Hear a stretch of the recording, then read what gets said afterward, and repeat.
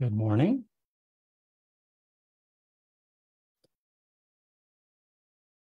Get started in just a moment.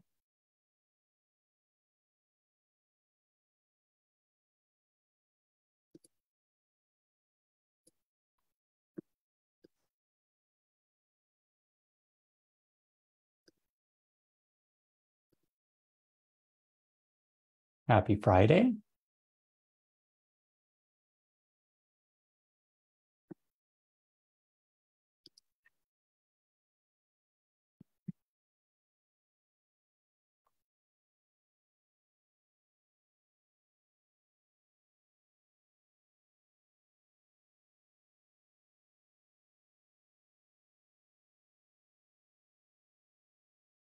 Good morning.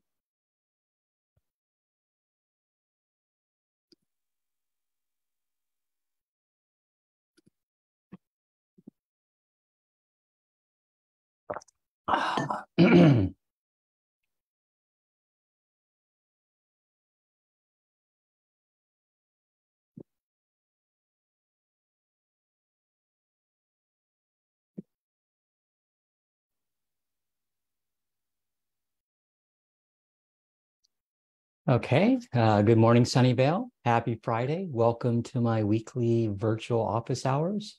Welcome to the end of May. Uh, this week's early artwork is actually from my visit to Moffett Field, uh, which I visited earlier week this week, but uh, you heard probably a little bit about that from the news. Uh, but I thought it was actually a perfect, a perfect mural for this week uh, with the, you know, with the Hangar One, um, and also uh, Air Force. Uh, I think this was Air Force One, but of course, Air Force Two uh, was at Moffett Field earlier this week, and you know I thought this mural uh, was a perfect one for for what we're seeing this week, and you know all the great things that are happening here in Sunnyvale. Uh, but we'll get we'll talk a little bit more about uh, the vice president's trip to Sunnyvale a little bit later. But you know I think it was it was good to be out on Moffett on the Moffett tarmac and seeing uh, the reskinning for Hangar One continuing, and you know, and then of course uh, be there for the big the big event for the day. So we'll talk a lot a lot more about that a little bit later. But let's go ahead and get started. Good morning. I'm Sunnyvale Mayor Larry Klein. Uh, thank you for joining me again this week. Uh, it's been a very busy week, uh, but this is the 161st installment of my weekly virtual office hours. You know, hope everyone's doing well, staying healthy, enjoying the good weather. Um, you know, I've now reached, we've now reached 1,166 days since the March 16, 2020 county health order started the shelter in place in an attempt to slow the spread of COVID 19. You know, over three years ago, I converted my weekly coffee shop office hours into these le- weekly live stream addresses. And except for surgery and my recent spring break, I haven't missed a week since. Uh, but I just want to thank everyone who's joined me over the last few years. You know, people still say they appreciate, you know, seeing and hearing from their mayor each week, uh, whether or not they're watching it live or watching it delayed. Uh, but, you know, these weekly addresses allow me to reach a lot more people than I can at, at the local coffee shop.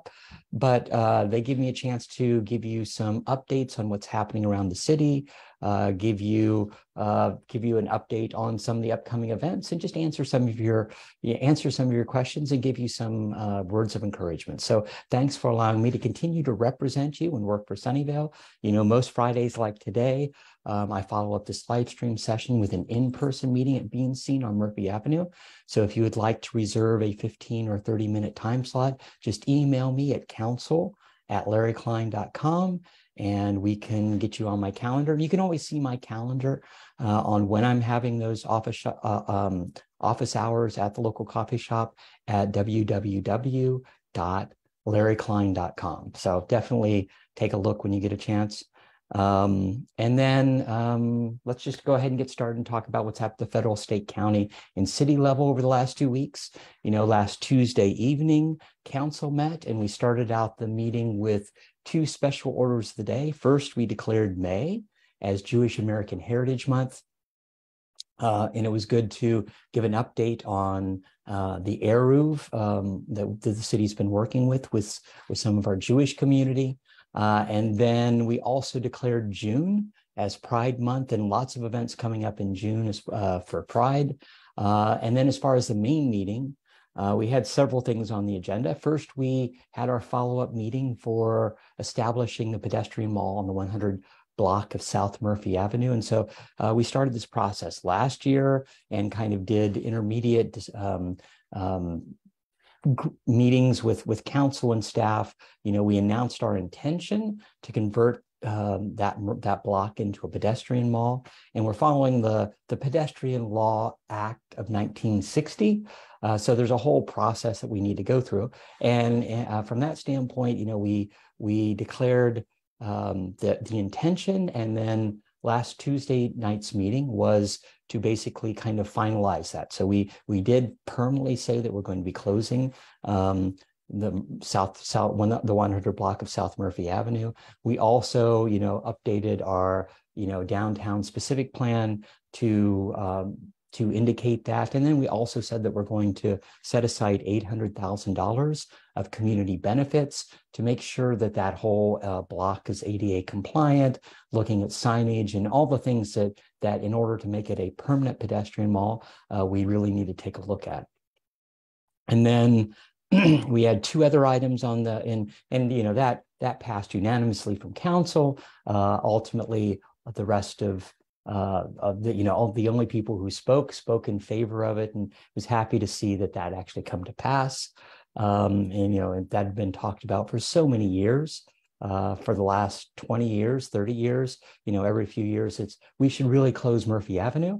And finally, you know, this is one of the positive things to take out of COVID that that we finally tried it and it was a success and now it's it's permanently part of our community in our downtown and you know that that's really um, a gem from our standpoint of of um, what we have, you know, saving that historic Murphy Avenue, which you know certain cities around us don't have a downtown, you know, a real a, a, real place for people to congregate. We still have that, and and maintaining that and making it that much better is is really a fantastic thing. Um, and then um, next, we had two art-related items. So, you know, everyone knows that I I have a great love of art and adding more of it into Sunnyvale. So, you know, two items um, really will make add a lot more art into the city. So, you know, council uh, approved the the 16 design proposals for the phase two of our great box cover up proj- project. You know, so that's covering you know the utility box um, boxes around the city uh, with artwork. And, you know, this these 16 locations were, were further spread out. You know, the first, the first 12 were downtown, the second 16 are more spread out around the city. And then, you know, we, we authorized the Art Commission to do a phase three, and that will be around um, several high schools, uh, so that, that that'll be um, so I think five different high schools around the city and and focusing on working with students at those high schools to to uh, have them do the murals at the high schools. And then the second item that we had was, was we chose the final icon for uh, Sunnyvale's icon sculpture project. And so, you know, this is similar to the hearts in San Francisco, or, or you've seen the sharks conceivably in San Jose. So these are fiberglass sculptures that are then painted by artists and then displayed around the city. And so we ultimately chose a sun. So the sons, the sons of Sunnyvale. Um, and it's about, it'll be about four feet tall. And, you know, council ultimately requested that they be put in multiple locations. So staff had recommended, oh, let's focus on five different parks and having a whole bunch of them there. I think, you know, the, the, what, what's better is to have, you know, them destination locations around the city and providing that, you know, that that destination of oh i want to go to that park because you know this is this is an amazing you know this is amazing piece of art. And so you know i think it was good from that standpoint that council focused on let's say um, spreading them around from that standpoint. Um, and yeah the art commission will choose the final artists and the final design of those sculptures but but you know i was really happy to uh, see that that we finally got that program moving forward. You know, having we several years ago we approved the art master plan, and all these are you know efforts to get more art into our community. And then we finally voted on um, our applicants for our boards and commissions. And, you know, there were lots of applicants. Um, you know, the, the new Human Relations Commission alone had 18 applicants. And so it was good to kind of go through that process. And, you know, we were there, that meeting went past midnight, uh, which we don't do that often. Normally we're ending, ending around, you know, 10 or 11 p.m. So, so um, it's been, you know, last week was busy, you know, last, and then last, that was so Tuesday night, we went past midnight. And then um, Thursday was uh, our all day budget workshop. So actually, on that morning, I kicked off uh, was bike was the first day of bike to wherever day. So it's that three day event, and you know it was good to get out on the bike. So I got out on the bike and visited uh, one of the Energizer stations in our city, and there was a competition of of different cities signing up to have people to pledge to ride. You know, Sunnyvale ended up in sixth place, so not too bad um, you know, for for and so it was a friendly competition for all the all the cities in Santa Clara County, San Mateo County to have people to pledge to ride. So so happy that that you know a good number of our residents uh, pledged to ride Thursday, Friday, or Saturday Saturday last week. Um, but you know that that was the beginning of my day, and then uh, we had we had the all day budget workshop, and so you know this was in the third of our all um, all day meetings, three all day meetings that we have every year. The first one in January, our strategic session, the second one in February, which is our budget proposal and um, uh, study issue workshop. And so that's where we end up ranking our different study issues. Uh, but the budget the, for the city is very good. You know, at least for this year, it looks like we're already meeting um, the the pre-pandemic numbers for sales tax, uh, property tax, of course, continues to go up, um, and then uh, TOT, transportation occupancy tax. We are seeing uh, the the amount of business travel and and recreational travel coming into the city. So so that's actually very good from our standpoint. You know, uh, the city's finances are moving in the right direction, um, and you know, and you know, almost all the revenues have returned to pre-pandemic levels. So our recommended budget uh, totaled $607 million across all funds, um, which was the highest budget in city's history. You know, normally we, in the past, we've been about $500 million. So it's about um, 100 million over that, over that. And, you know, there are definitely projects in there, capital projects and all that. You know, we still have a relatively cautious budget, you know, lots of unknowns. What will be happening with inflation and conceivable recession, you know, cutbacks, but but we focused on maintaining those reserves, which kind of helped us through um, helped us through COVID, definitely. And then we have, of course, there's the ongoing worry about the unknowns of return um, on retirement benefits from a state level. So the CalPERS, you know, we always we always have that liability because of our because of our retirements um, pensions. And so making sure that that CalPERS meets their, hopefully meets their numbers is always a thing.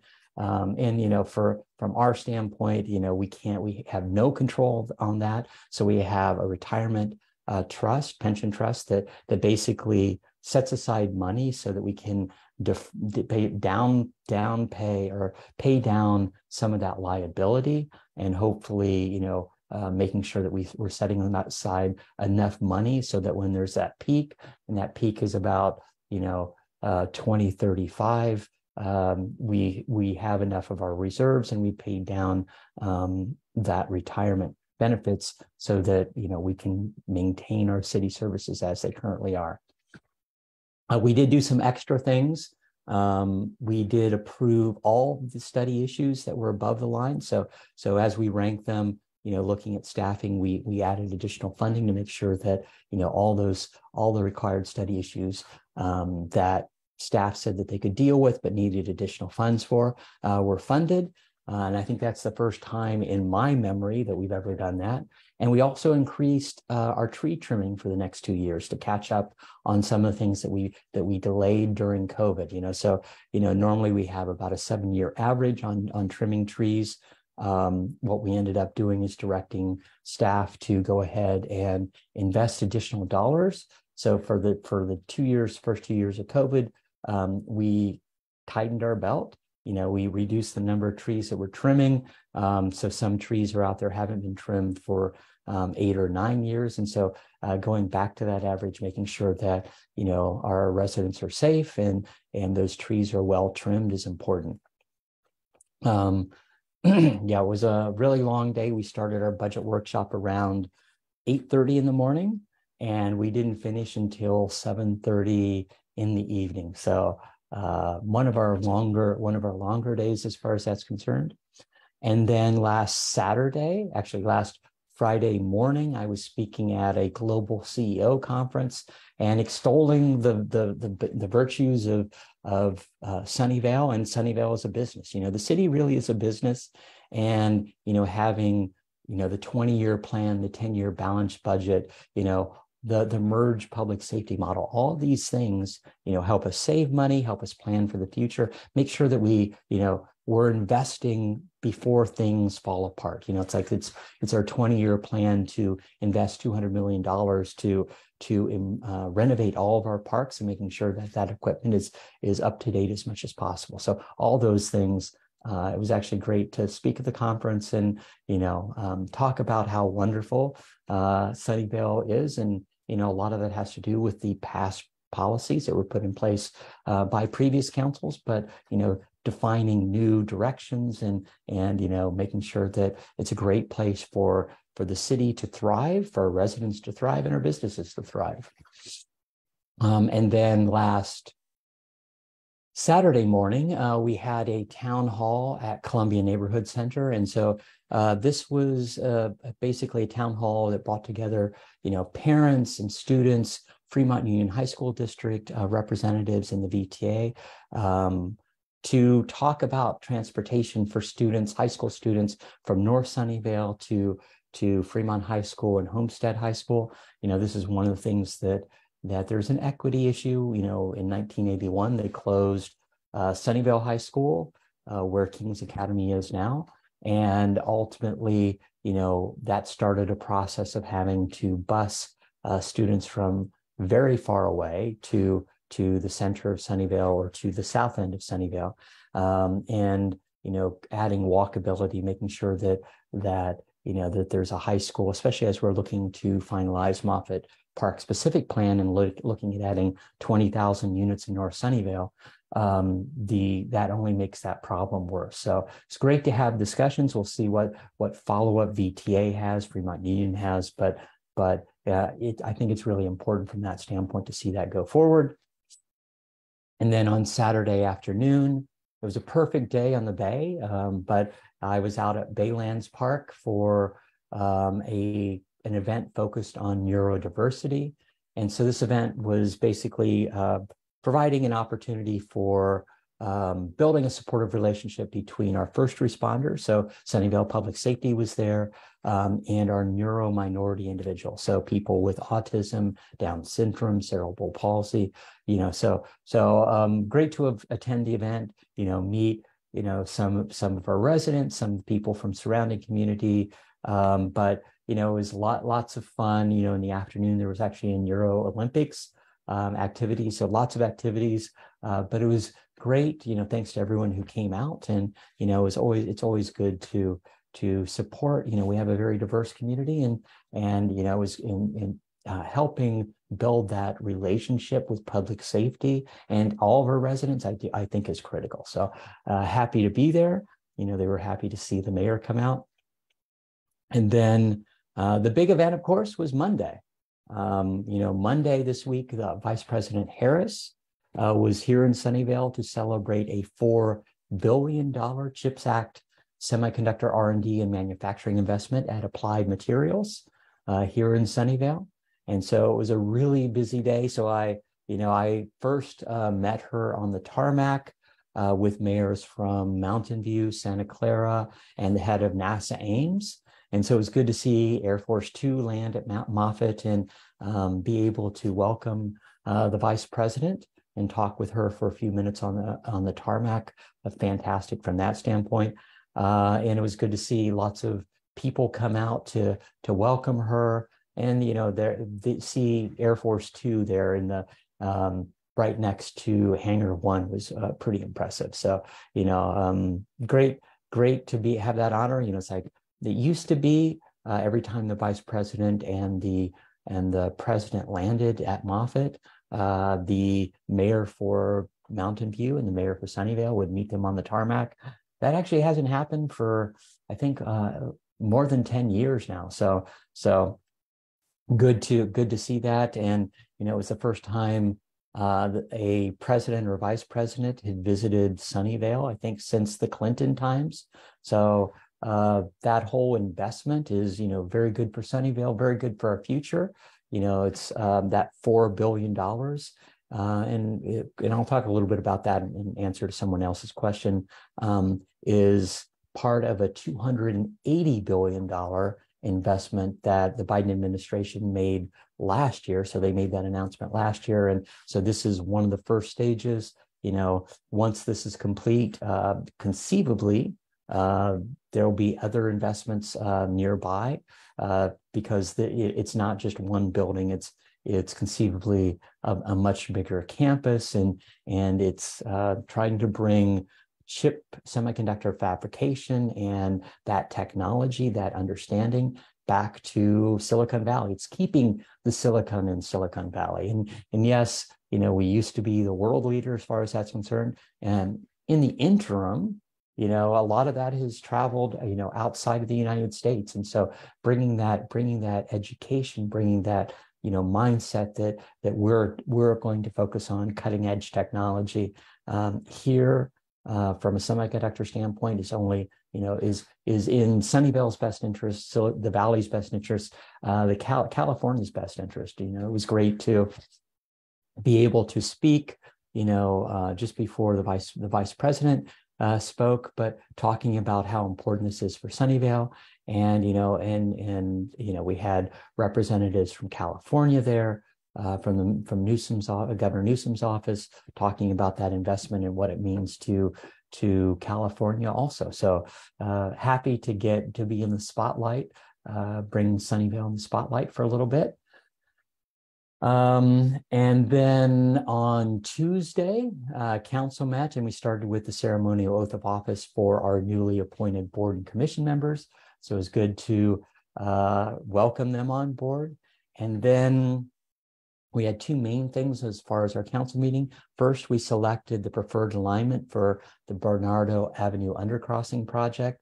So this is a project um, between Sunnyvale and Mountain View to create an undercrossing that goes uh, where Bernardo and Evelyn meet currently uh, under the Caltrain tracks under, under Central Expressway and come up on the far side. And so there are two different designs, a west design and an east design.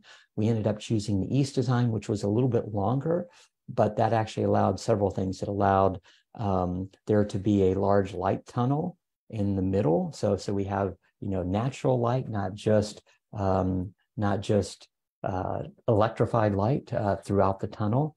And then it also basically was better from a staging standpoint. So it reduced the cost. It also didn't have to move utilities, all those sorts of things that, that will make that project a little bit less expensive, uh, which is really important to make sure that we can actually get it done and finalize getting the funding.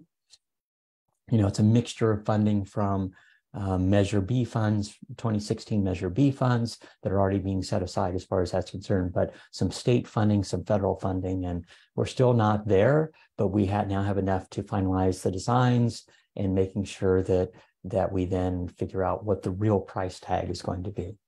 And then we also approved the installation of six of, of sidewalks um, along the east side of Poplar, uh, between El Camino, uh, Real, and Peterson Middle School, and the installation of sidewalks along Bryant, um, um, on Bryant Way. So, you know, ultimately that that was, you know, something that we kicked off evaluating several years ago.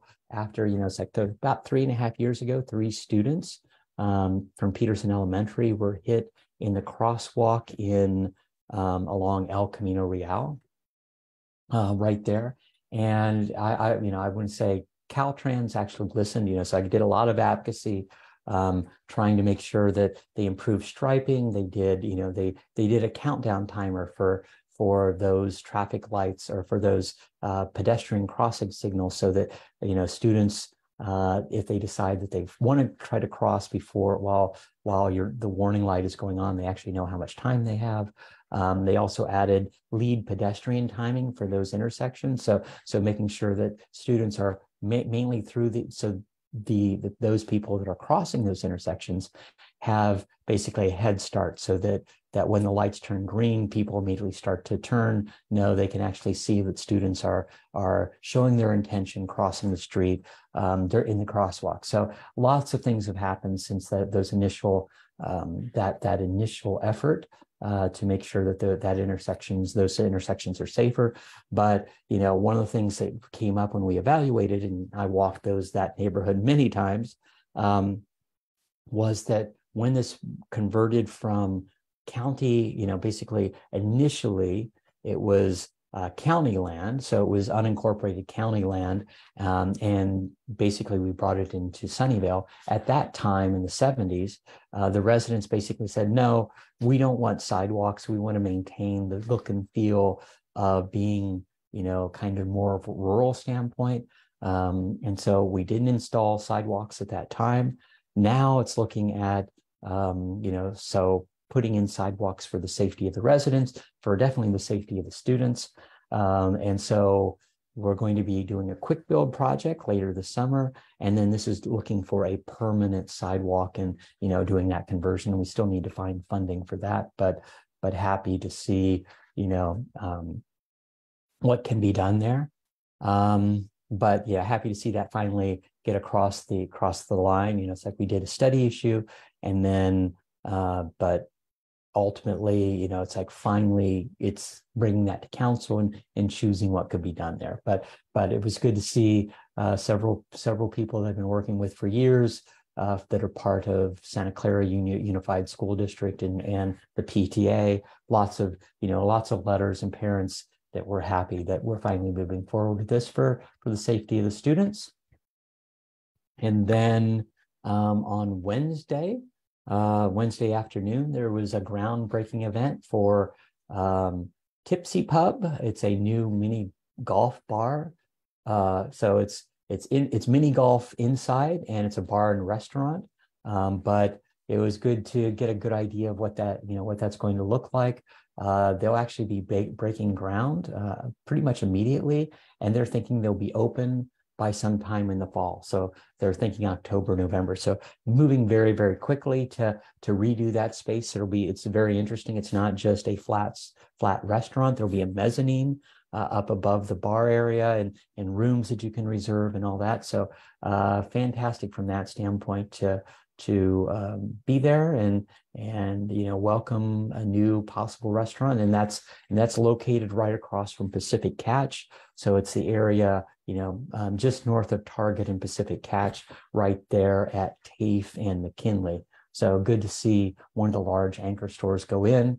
Um, but you know it, it was good good to have a, yet another res, um, another place to come. And then uh, in the evening um, that same Wednesday evening was the uh, the one year anniversary for the Tetra Hotel, and they've been very active with having events and having you know welcoming people. You know, there that's the hotel on, at in Moffett on Java Drive, and you know they're seeing a lot of you know they're they're doing a lot of events and being part of the community, and it was great to welcome them or congratulate them on one year of being part of our Sunnyvale community.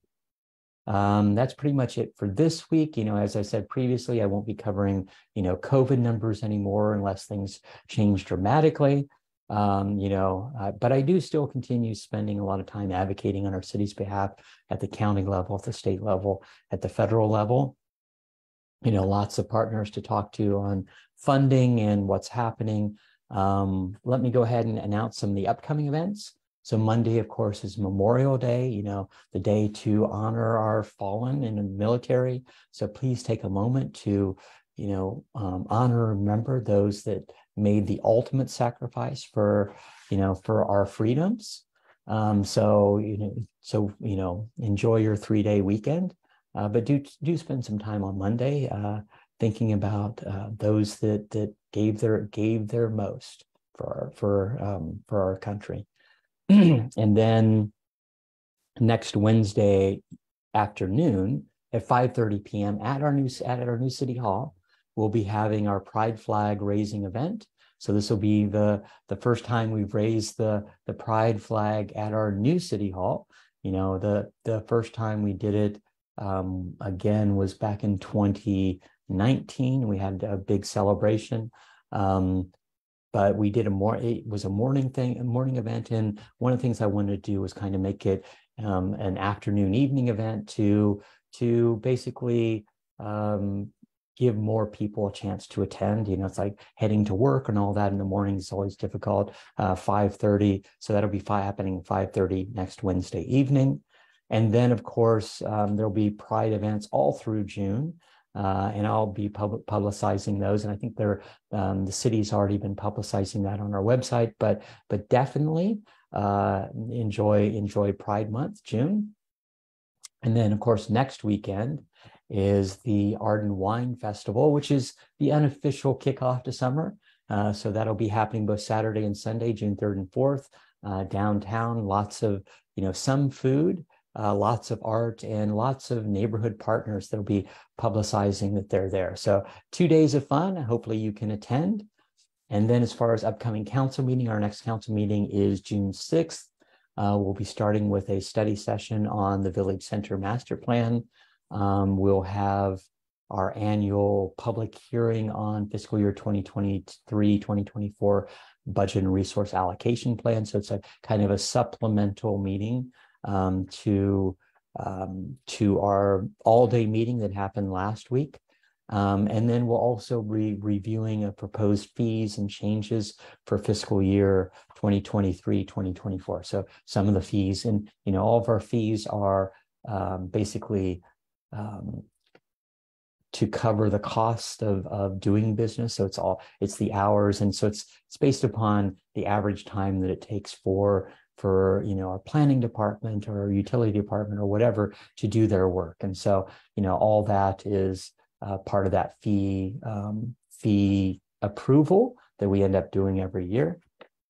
Sometimes we add additional fees depending upon what you know what new things we undertake or what you know what suggestions we have from staff.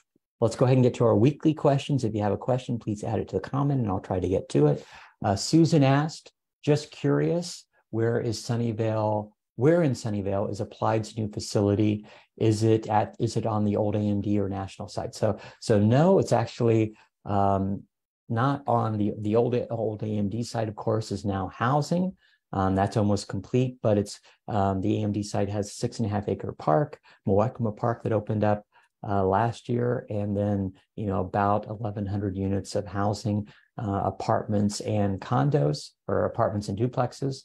Um, but the new applied materials site is actually right next to their old facility on our it's on Arques about halfway between wolf and lawrence you know wolf road and lawrence expressway um, and so it's um, applied's current uh, facility is about uh, 40 40 44,000 square feet and this will be over 100,000 square feet um,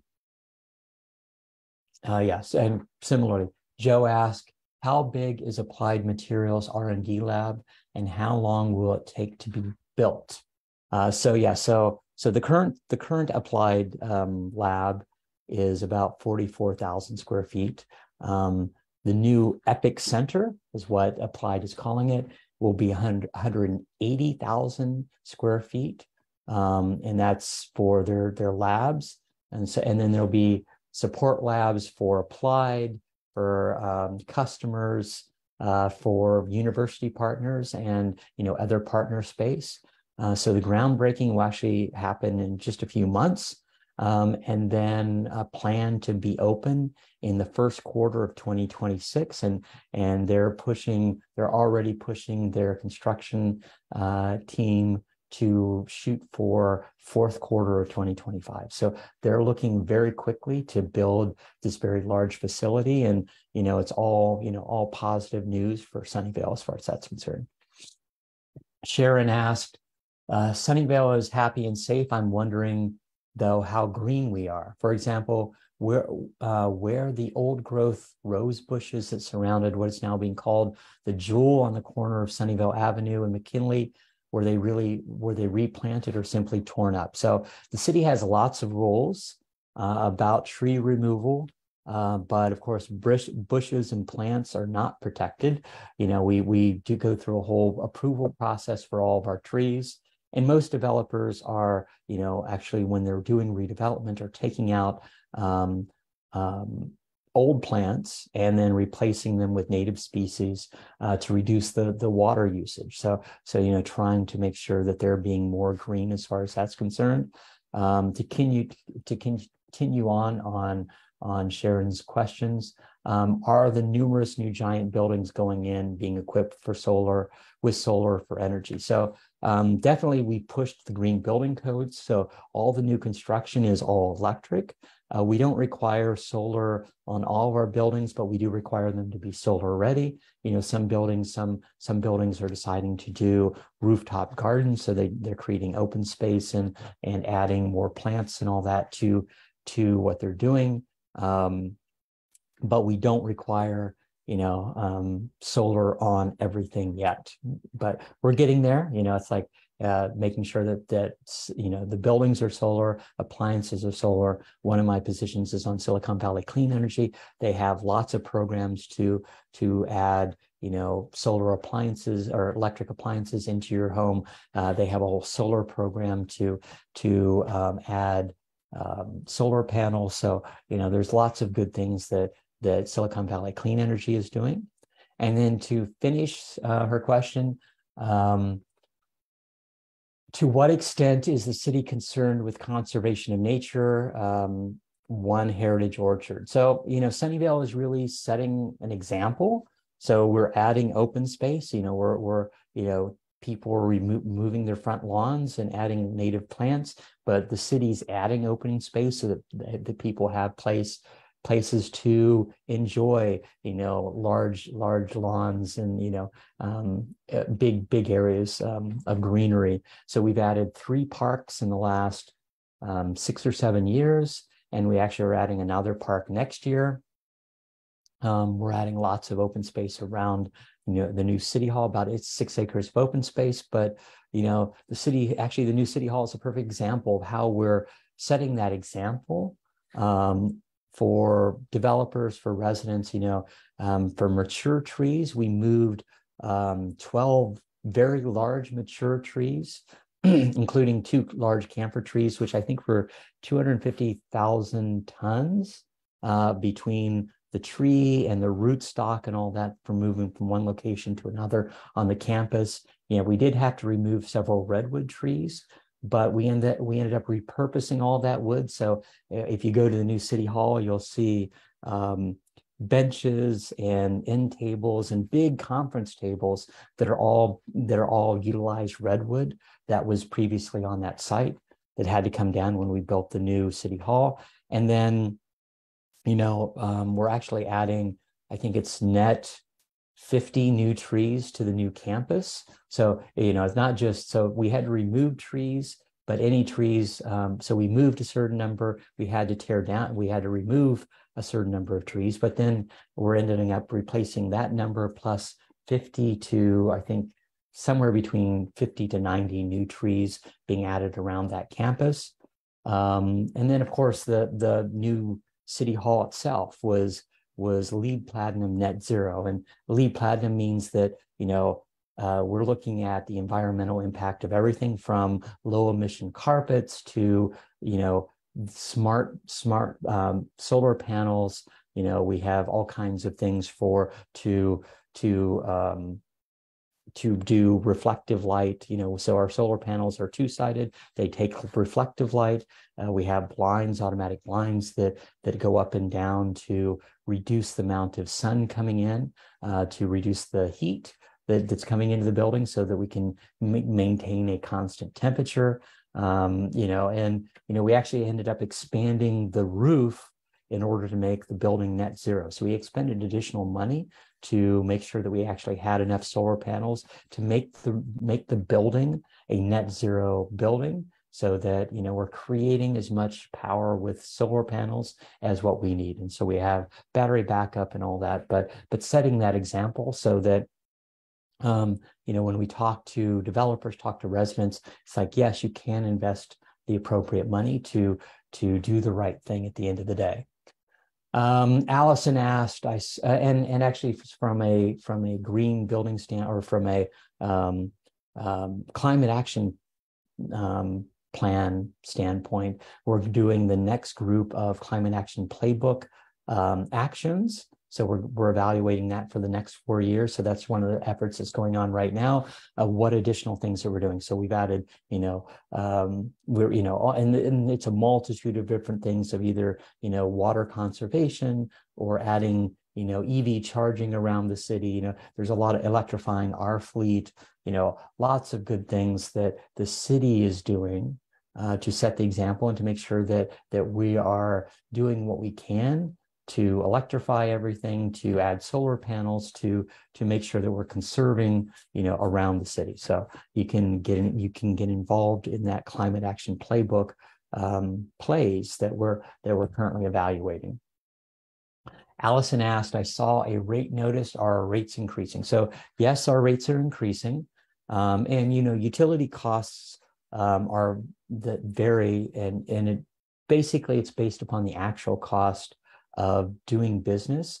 Um, you know, it's it's delivering that service. It's the cost of that service from a city standpoint. You know, the city's proposing a four percent increase for water, a nine percent increase for wastewater, and a six percent increase for solid waste. And you know, um, so a typical single family residential utility bill will increase about six percent um, which ends up being about $10.45. So that's an additional um, $2.70, 77 cents for water, uh, $5.15 for wastewater, and $2.53 for solid waste. So, and recycling.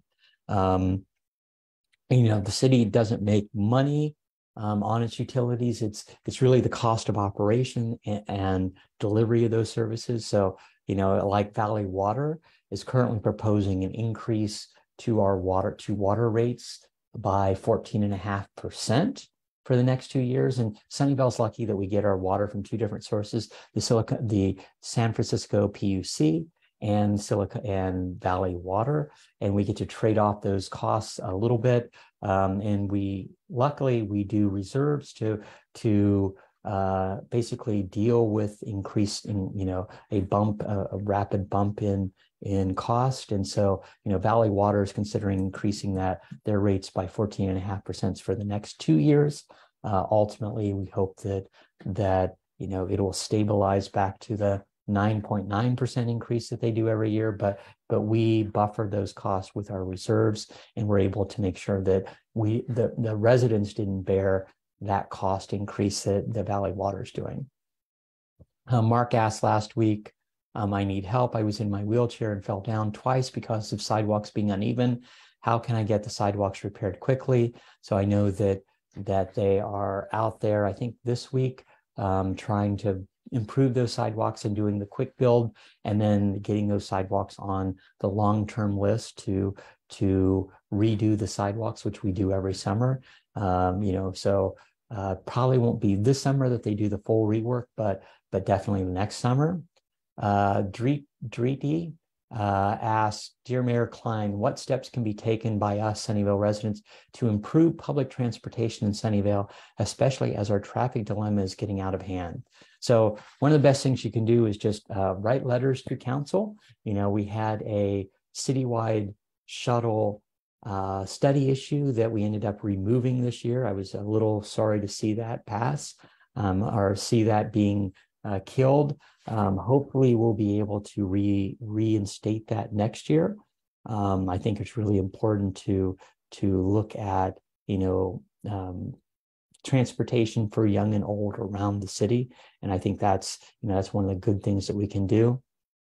Um, but yeah, raising that to council, you know, saying that you want to see a citywide shuttle as quickly as possible, whether or not you come to a council meeting or email council, that's something that you can do to, to make your voice heard.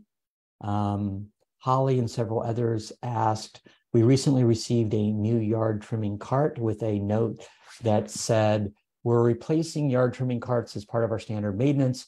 Our existing cart, I spe- and I suspect others, are in perfectly working order.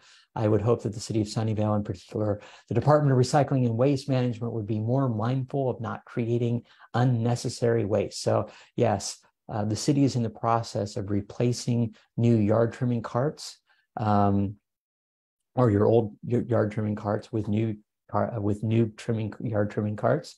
Uh, but the the carts have a warranty and must be de- decommissioned when that warranty expires, and they have a warranty of roughly about 15 years. So so that's the the general lifespan of a cart. Uh, but by removing them before they hit their end of life, um, we can actually send them um, back to a plastic recycling plant where they can be melted down, merged with new plastic, and then made into brand new carts. So, you know, leaving them in the field any longer would actually cause them to actually have to end up in landfill. So, so this is one of the things that we try to do. You know, this is our, you know, when we're doing long-term planning, it's like, okay, we take them out of the field just before they reach end of life uh, because they can still be recycled and and, and utilized and, and, it's better for better for the environment better for you know what we're doing not not letting them completely fall apart. And you know and then it's the cost of doing um, uh, replacement